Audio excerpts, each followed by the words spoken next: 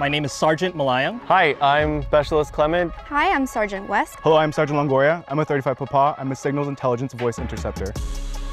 So if you're a 35 Papa, they're going to teach you a language and they're going to send you to a unit where your primary job is to use those language abilities to translate documents or audio that we need for intelligence purposes. You inform the intelligence process by providing insight into what the enemy is thinking and what the enemy might be planning to do.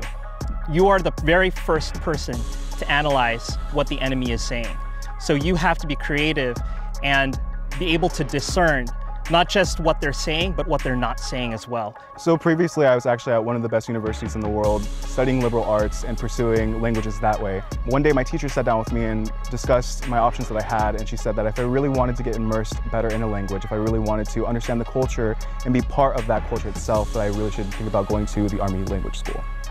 The Army does a really good job of actually getting you through the language that they want you to learn. They're going to make sure that they take you from the beginning to the very end, and they're going to make sure that you succeed. It took me about 18 months to go from zero Korean to being proficient. It's not just the language that you gain through this MOS, you actually gain cultural studies, and that's a huge part of your training and education.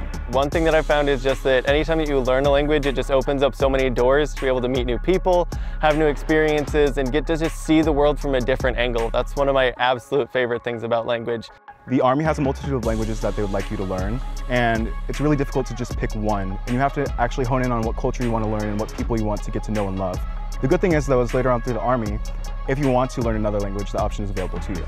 So if you really want to get out and do more, if you really want to understand and learn a language, then the Army is definitely the right option for you. To learn more about the MOS 35P, go to goarmy.com.